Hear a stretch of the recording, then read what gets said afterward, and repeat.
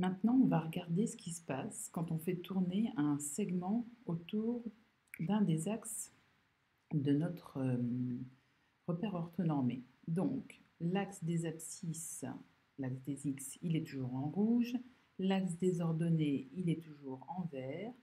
L'axe des côtes, z, il est toujours en bleu. J'ai tracé en noir un segment AB. Ce segment, je bouge le plan, il est, euh, je bouge la figure, pardon, il est dans le plan euh, qui est constitué par l'axe des abscisses et l'axe des ordonnées.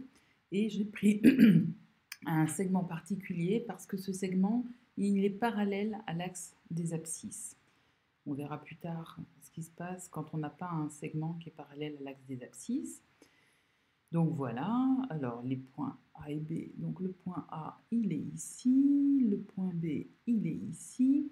Et donc maintenant, on regarde ce qui se passe quand je fais tourner mon segment autour de l'axe des abscisses. En fait, c'est comme si euh, mon segment, ici, il est, enfin, il est vraiment fixé, et avec les doigts, je fais tourner l'axe des abscisses sur lui-même. Hein, on imagine. Et donc, normalement, l'axe des ordonnées devrait bouger aussi. Mais là, en fait, il n'y aura que le hum, segment AB qui va tourner. Enfin, le segment AB, il va y avoir une trace en rouge qui correspond à la trajectoire laissée par le, hum, segment AB quand on le fait tourner virtuellement autour de l'axe des abscisses. Donc voilà ce que ça donne. Je te montre. on fait tourner le segment et voilà ce qu'on obtient. Ce qui est en ici, c'est parce qu'on passe sous le plan qui contient l'axe des abscisses et l'axe des ordonnées. Donc voilà ce qu'on obtient. Et euh, on dirait une sorte de boîte de camembert qui a été mise, euh, qui a été mise euh, à la verticale. Donc je fais tourner, tu vois, hop. Là, on regarde sous le plan euh, qui contient l'axe des abscisses et l'axe des ordonnées. Donc du coup, la partie qui est ici en rayure, c'est parce qu'elle est au-dessus de ce plan, et cette partie, elle est en dessous. Donc on a notre espèce de boîte de camembert là. Voilà, quand on regarde comme ça, on voit un cercle. Et donc voilà ce qu'on obtient quand on fait euh, donc euh, tourner notre segment AB autour de l'axe des abscisses.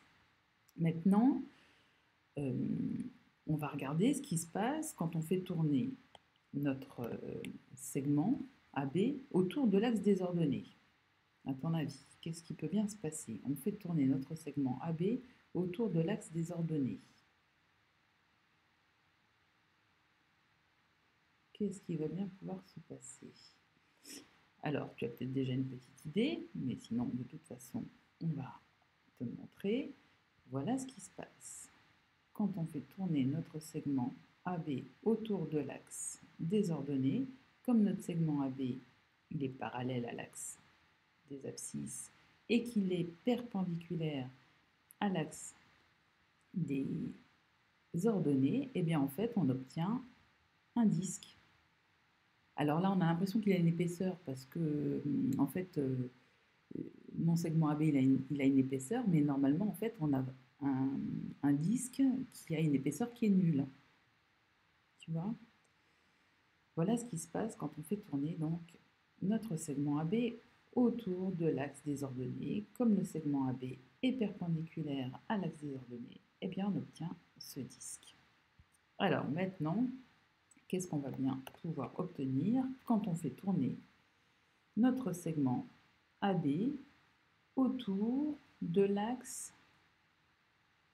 des côtes. Est-ce que tu arrives à visualiser ce que ça peut donner?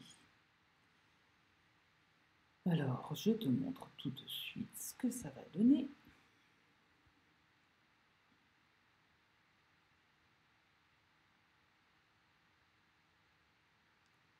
Voilà ce qu'on obtient.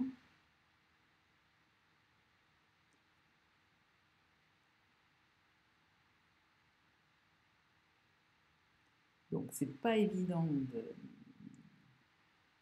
d'appréhender ce que ça va être, mais en fait, comme le segment AB, il est dans le plan qui contient l'axe des abscisses et l'axe des ordonnées, et qu'il a une position particulière dans ce plan, eh bien, ce qu'on obtient ici, c'est une couronne. Une couronne, mais qui est plate. Cette couronne, elle reste dans le plan qui contient l'axe des ordonnées et l'axe des abscisses. Je te montre, tu vois, elle est plate, la couronne. Donc en fait, si on regarde ce qu'on obtient, eh bien, on a un grand cercle, un petit cercle, et le segment AB, eh bien, les points du segment AB, ils vont, euh, euh, ils vont en fait, euh, chaque point du segment AB va, va te permettre d'obtenir n'importe quel point de cette couronne. Je te remontre à nouveau l'animation, mais cette fois-ci vue du dessus. Tu vois, ici, on a l'impression qu'on a un point bleu, mais en fait, c'est l'axe des, des côtes. C'est parti. Moi, je trouve ça beau. Bon, je sais, je suis prof de maths, mais franchement, moi, je, trouve ça mignon. Voilà, voilà. Et donc, si on regarde bien, pour chaque étape, eh bien, ton segment AB, là on voit plus grand chose, je recommence l'animation. Hop, le segment AB il est là. Pour chaque étape, en fait,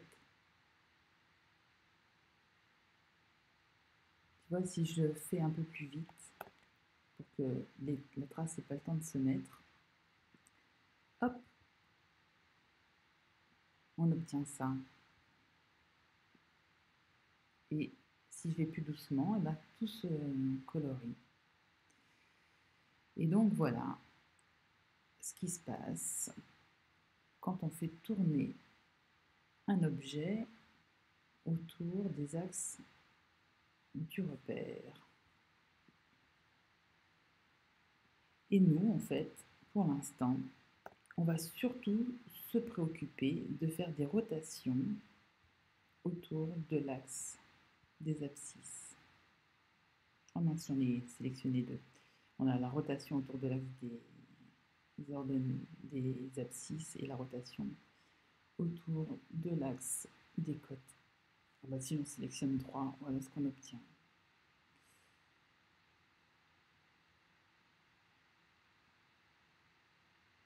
Une belle figure avec trois couleurs. Voilà.